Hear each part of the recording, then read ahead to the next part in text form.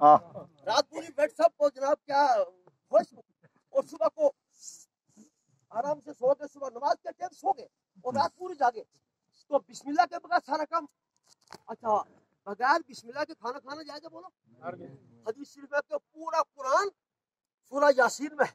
सुबहान अल्लाह पूरी सूरह यासीन अल्हम्दुलिल्लाह में है। सुबहान अल्लाह और पूरी अल्हम्दुलिल्लाह बिस्मिल्लाह में है। सुबहान अल्लाह बोलो आपने बिस्मिल्लाह पढ़ी तो पूरा कुरान पढ़ा कि नहीं पढ़ा? सुबहान जब पूरा कुरान पढ़ सकते हैं आप तो कोई सूरत पढ़ी तो क्या फ़र्क पड़ता है?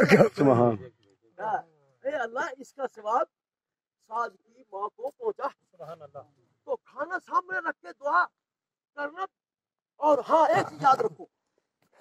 ये बात आप याद रखो कि हदीस किस चीज़ का नाम है सरकार के फरमान और अफाल का नाम। है सरकार ने फरमाया जो किया वो हदीस है।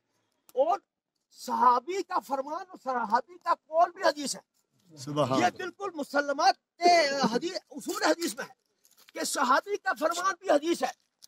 और अब्दुल्ला इब्न मसूद ने इरशाद फरमाया मन रआहुल मुमिनूना हसनन फहुवा इंदल्लाहि हसनुन। मन रआहुल मुमिनून हसनन।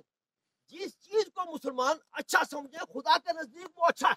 वाह सुबहान अल्लाह। तो देखो कब से लोग चले आ रहे वाह। और में क्या होता है? लंगर।